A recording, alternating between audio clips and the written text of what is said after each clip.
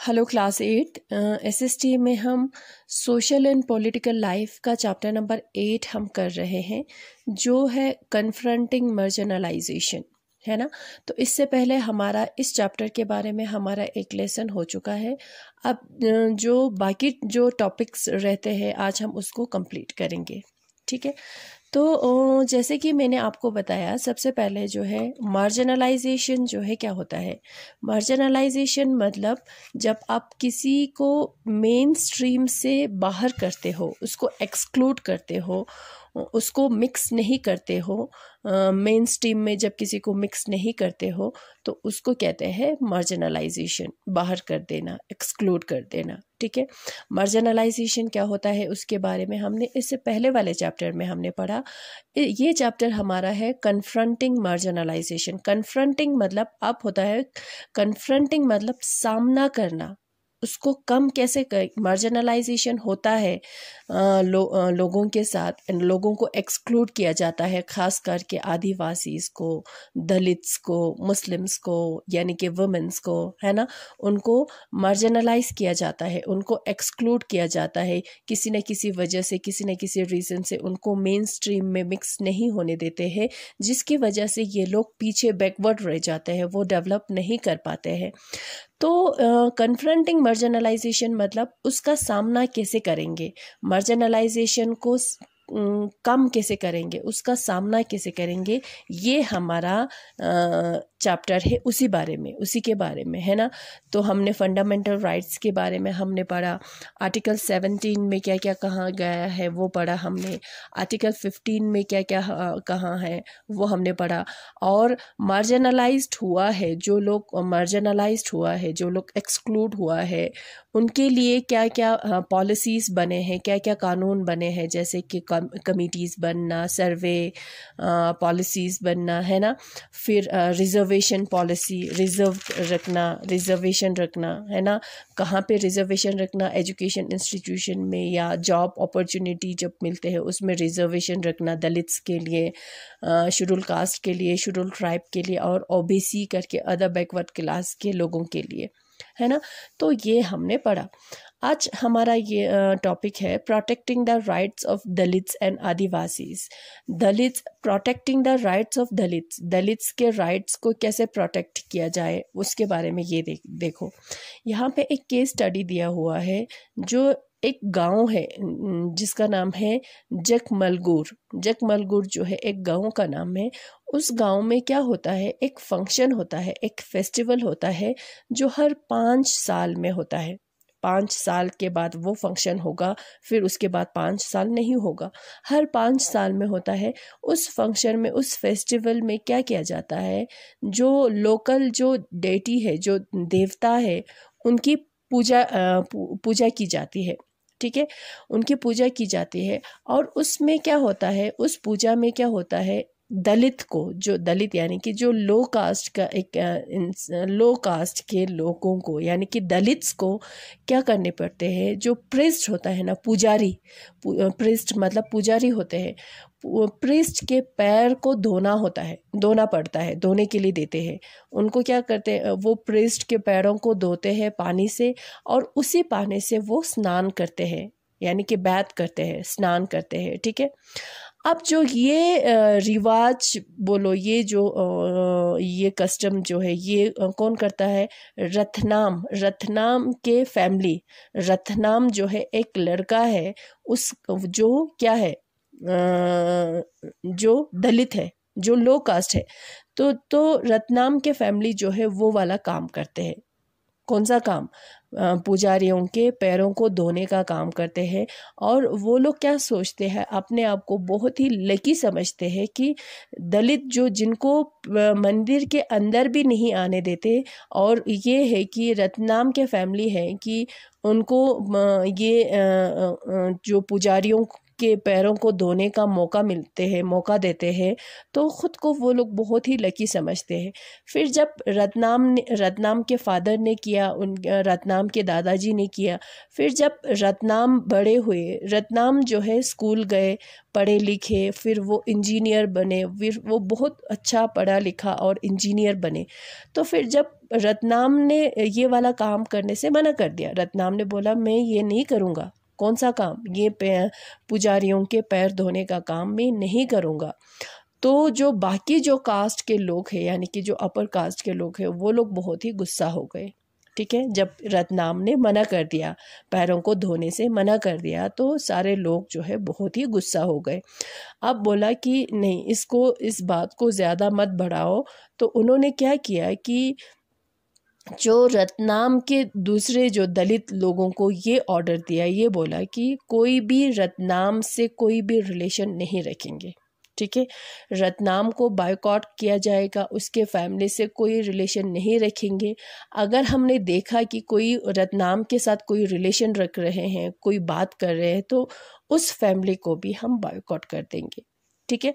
तो फिर क्या हुआ? एक दिन जो है रात को रतनाम के घर पे लोगों ने आग लगा दी, ठीक है?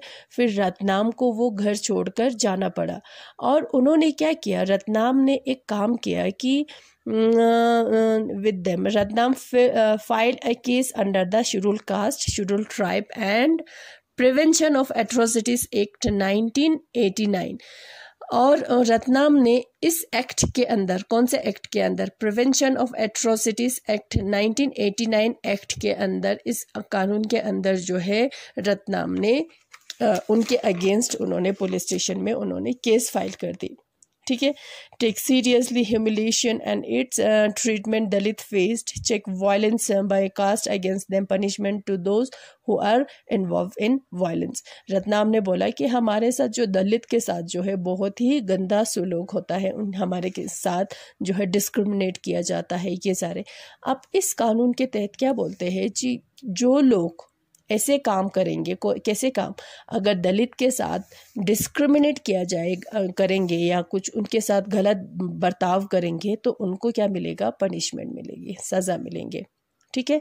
Refuse to perform caste duty and insist on being treated equally और ये भी बोला कि हम इस तरह से ड्यूटीज़ जो है, हम परफॉर्म नहीं कर सकते। किस तरह से ड्यूटीज़ ये पैर धोने का काम, ये सारे काम नहीं कर सकते।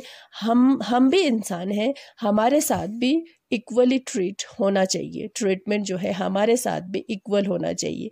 उसका एक फ़ायदा क्या हुआ कि लोग जो है बाकी दलित लोग जो है अब उनको भी ये पता चल गया कि हाँ अगर हमारे साथ कोई गलत काम करते हैं तो हम भी आ, केस फ़ाइल कर सकते हैं। इसके लिए हमें भी कोई आ, हमारे लिए भी कुछ कानून बना है। उससे लोग अवेयर हो गए। लोग अब, लोग सारे लोग आवाज़ उठाने लगे कि हाँ हमारे साथ ऐसे गंदे काम हो रहे हैं, हमारे साथ ऐसा किया जाता है, गाँव में वैसे किया जाता है तो ये सब नहीं होना चाहिए। तो रतनाम की वजह से बहुत सारे लोगों को ये पता चल गया कि उनके राइट्स क्या है। समझ में आया? और वो लोग खुद को ऑर्गेनाइज करने लगे डिमांडेड इक्वल राइट्स वो लोग भी इक्वल राइट बराबर का हक जो है वो लोग भी डिमांड करने लगे। रतनाम को तो वो घर जोड़ कर जाना पड़ा, मगर जो गाँव में जो बाकी जो दलित्स है उनको अपने हक के बारे में उनको पता चल गया। वो लोग भी अब आवाज़ उठाने लगे। समझ में आया? इसी एक्ट के अंदर तीन levels three levels of crime होते हैं। वो कौन सा है? नंबर वन है mode of humiliation that are both physically horrific and morally reprehensible force them to drink और इसमें क्या किया जाता है? मोड ऑफ़ ह्यूमिलेशन क्राइम में क्या होता जाता है? लोग, उन लोगों को, दलित लोगों को फोर्स किया जाता है कि ऐसे खाना खाने का, ऐसे पीने का, जो खाने लायक नहीं है, जो पीने लायक नहीं होते हैं। ठीक है? और उनके फेस को पेंट करना बॉडी को पेंट करना ठीक है? और जिसके ऐसे ऐसे काम उनसे करवाना जो उनके मतलब कोई भी नहीं कर सकते। ठीक है? फिर दूसरा क्राइम दूसरा लेवल ऑफ़ क्राइम क्या होता है? Dispose Dalit of major resources and force them to perform slave labour लोगों को, दलित लोगों को उनके घर से बेघर करना, उनके ज़मीन उनसे छीन लेना और उनको दूसरे जो मजदूरी, जो काम करते गुलामी वाला काम करने पे मजबूर करना। उनके ज़मीन को रोंगफुली ऑक्यूपाई और cultivate land on by scheduled caste और शेड्यूल ट्राइब ऐसे जो उनके ज़मीन हो, उनके लैंड को गलत तरीके से ऑक्यूपाई करना, उनको हड़पना, यानी कि कह सकते हैं हम, उस पर कल्टीवेट करना, जो ज़मीन किसका होता है? या तो शेड्यूल कास्ट का होता है, या तो शेड्यूल ट्राइब का होता है। ठीक है, ये एक लेवल ऑफ़ क्राइम है। और थर्ड लेवल ऑफ़ क्राइम होता है कि क्राइम्स और assault against Dalit women Dalit women के साथ गलत होना, ये है। ठीक है ये है तीन levels of crime Adivasi demand and the nineteen eighty nine act अब इसमें क्या कहा गया है? ये देखो. Defend their rights to occupy land that was traditionally theirs अब इसमें क्या क्या uh, है कि जो उनका जो लैंड uh, uh, है ज़मीन है ठीक है आदिवासी का जो ज़मीन है उसको बचाना जो उनका ही है। unwilling to move from land and are forcibly displaced, those who have forcibly encroached upon tribal lands should be punished under this law. In case land belong to tribal people, sold or bought, the constitution guarantee the rights of tribal people. अब इस इस act के तहत क्या होता है कि जो जो, वैसे क्या होता है कि जो लोग हैं, जो कौन, आदिवासी जो जंगल में रहते हैं, उनको क्या किया जाता है? बहुत फोर्सफुली यानी कि फोर्सफुली उनको उनके ज़मीन से बाहर किया जाता है। ठीक है? बाहर किया जाता है। अभी इस एक्ट के तहत ये बोला है कि उन्होंने अगर ऐसा लोग कोई करे उनको ज़बरदस्ती वहाँ से बाहर निकाला जाए तो क्या करना चाहिए? उस ज़मीन वैसे तो उनका है बिलोंगिंग टू ट्राइबल पीपल अगर उस ज़मीन को खरीदा बेचेंगे या ख़रीदेंगे तो उसके, उस उस दौरान क्या होना चाहिए?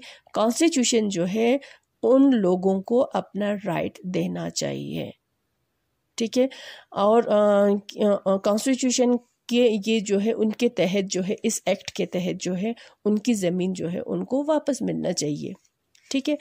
एक जो है, सी के जानो करके एक एक्टिविस्ट है, उन्होंने बोला कि जो गवर्नमेंट जो गवर्नमेंट ही है जो कॉन्स्टिट्यूशनल के राइट्स को वायलेट किया है और किसी इंसान ने नहीं किया है। ये खुद गवर्नमेंट ही है।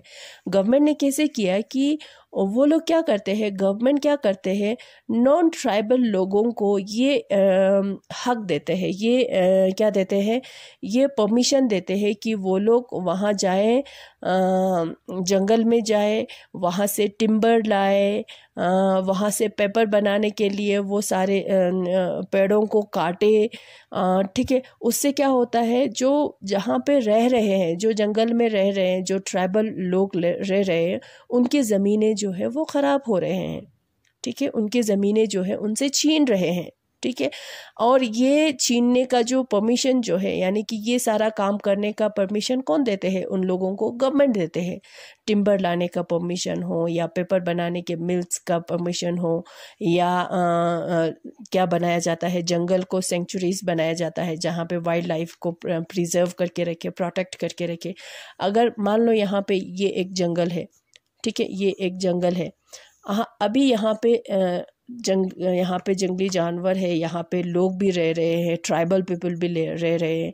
अब अगर गवर्नमेंट बोलेंगे, इस जंगल को हम सेंचुरी बनाएँगे तो इसको क्या करेंगे? पूरा दीवारों से वो घेर लेंगे, दीवारें बनाएँगे मोटे मोटे दीवारें बनाएँगे, ताकि यहाँ से जानवर जो है बाहर ना जाए। अब जो यहाँ पे ऑलरेडी जो लोग रह रहे हैं, जो ट्राइबल लोग रह रहे हैं, वो मजबूर हो जाता है इस जगह को, अपने घर को छोड़कर, अपने लैंड को छोड़कर किसी और दूसरे जगह की जगह जाने पे मजबूर होते हैं। है ना? तो इनका कहना है कि सी के जानो का कहना है कि ये गवर्नमेंट ही है जो ट्राइबल लोगों को वहाँ से बेघर कर रहे हैं, बाहर, वहाँ से बाहर कर रहे हैं, ठीक है? विथ ट्राइबल पीपल और बोल रहा है कि जो ये फॉरेस्ट है, ये रिज़र्व है, और इस पर हमने सेंचुरी बनाना है, यहाँ से वो करना है, ठीक है? Government must have plans and policies for tribal people to live and work elsewhere अगर गवर्नमेंट ऐसा काम काम कर रहे हैं तो गवर्नमेंट के पास भी ऐसे प्लान्स होना चाहिए, ऐसे पॉलिसीज़ होना चाहिए लोगों के लिए। है ना? हाँ अगर यहाँ पे एक जगह पे सेंचुरी बनाना है तो वो बनाओ। मगर ये, पहले ये सोचकर बनाओ कि जहाँ पे ये लोग ट्राइबल पीपल जहाँ पे रह रहे हैं, उनको कहाँ लेके जाएँगे? उनको क्या काम देंगे? वो कैसे अपना गुजर बसर करेंगे? उन, वो अपने कैसे जो है पेट पालेंगे? उसका पूरा ध्यान रख के फिर करो। ऐसा कहना है किसका सी के जानू का कहना है। गवर्नमेंट मस्ट हैव प्लान्स उनके पास प्लान्स होना चाहिए पॉलिसीज़ होना चाहिए, किसके लिए? ट्राइबल पीपल के लिए कि वो कहाँ रहेंगे, वो कहाँ जाएँगे, वो कहाँ काम करेंगे। ठीक है? ऐसे होना चाहिए। Not to be taken existence of rights uh, or a law or even a policy on paper doesn't mean that it exists in reality. हाँ हमें पता है कि ऐसे कानून बना है आजकल ऐसे कानून बना है ऐसे लॉ बना है ऐसे राइट है हमारा हक है वो सिर्फ़ पेपर पे लिख कर होने से नहीं चलता। ठीक है? पेपर पे होने से इसका मतलब ये नहीं है कि वो सच में है। ठीक है ट्रांसलेट प्रिंसिपल इनटू एक्शन अब जो है, उस, जो पेपर में है, उसको एक्शन में बदलना होगा। ठीक है? Desire for a equality dignity and respect जो लोग, जो मार्जिनलाइज्ड हो रहे हैं, जो एक्सक्लूड हो रहे हैं, कौन आदिवासी हो रहे हैं दलित्स हो रहे हैं वुमेंस हो रहे हैं, और दूसरे कम्युनिटी के लोग जो है, जो मार्जिनलाइज्ड हो रहे हैं उनको भी हक है, उनको भी रेस्पेक्ट से, इज़्ज़त के साथ अपने सोसाइटी में रहने का हक है। वो भी चाहते हैं कि वो भी सबके साथ रहे, उनको भी वही हक मिले, उनको भी, उनके साथ भी वही ट्रीटमेंट हो जो दूसरों, दूसरे लोगों के साथ होते हैं होते हैं। वो वो होना चाहिए, ठीक है? तो ऐसा कहना है। ये सारे सारे राइट्स बहुत सारे राइट्स है, हक है, बहुत सारे कानून बना है, बहुत सारे पॉलिसीज़ बना है, मगर वो सिर्फ़ क्या है पेपर पे ही लिखा हुआ है, वो रियलिटी में नहीं एग्जिस्ट करते। उसको ट्रांसलेट करना चाहिए, हमें उसको ट्रांसलेट करना होगा, उसको एक्शन में लाना होगा तभी जाके ये मार्जिनलाइजेशन होने से मार्जिनलाइजेशन जो है तभी ये कम होगा। ठीक है? तभी उसको हम सामना कर पाएँगे, ठीक है? तो ये चैप्टर हमारा यहाँ पे ख़त्म हो जाता है, ठीक है? Thank you